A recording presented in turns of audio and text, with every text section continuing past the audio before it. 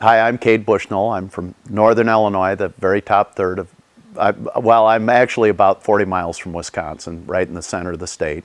Small town, Stillman Valley, Illinois.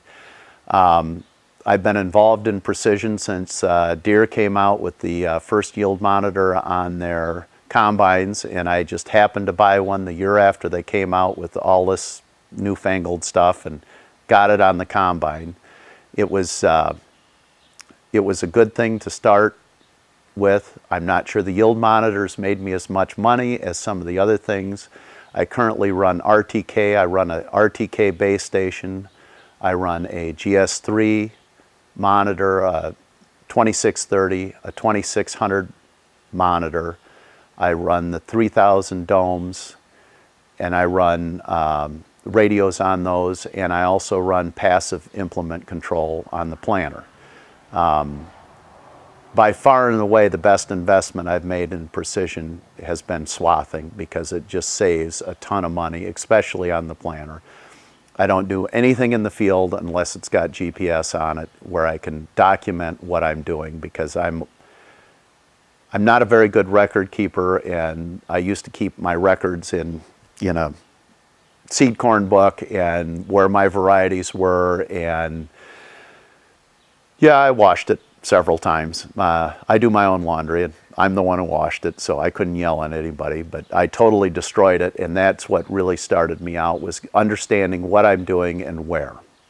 Uh, yield mapping has paid, but it's paid in a different way. It doesn't really pay in savings. What it's paid in is it's made me more aware of the yield variability in my fields. It's made me a better manager. So now I can actually try things in the field and do different things, whether it be strip till versus pure no-till, and I can actually get a pretty good yield map out of that. I use not only Deere system, but I use Yield Sense.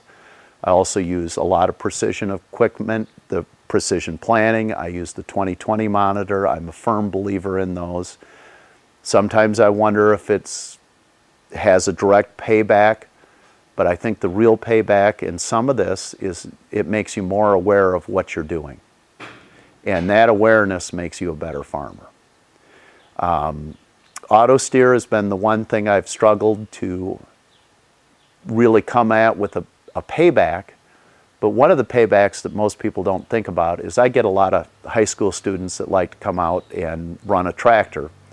And they're not terribly skilled, although the ones I have now are very good. And they do a very good job. They adapt very quickly to the monitors and they have good success with it. And one of the things about kids and tractors and planning is if they aren't good at it, they don't want to do it again. So I have good success at getting the kids who come out to ride in the tractor and to operate the tractor and they come back year after year. And I do enjoy having kids around the farm. It's really nice. My kids have kind of grown up and left, but hopefully they'll come back sometime.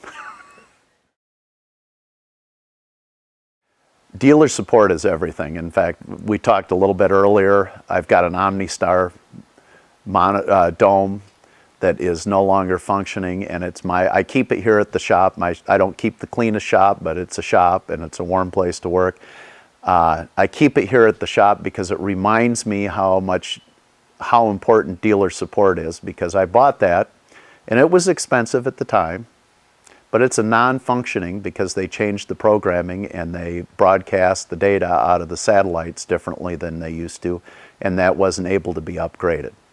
So what I like about whether I don't care whether who you're working with, whether it's Deere, I just happen to work with Deere, work with a major player in the market because the worst thing you can do is to throw stuff away. I mean, it's just, for me, it's kind of a deal breaker. When I have to start throwing a dome away because it's no longer usable, it's crazy. So you want to work with a dealer who's going to be in business, not only just a dealer, but the manufacturer is going to be in business, whether it be Ag Leader or whoever it is. You want to work with a major player because they will support you. And you need to go to the dealer too and look at what the dealer has to offer.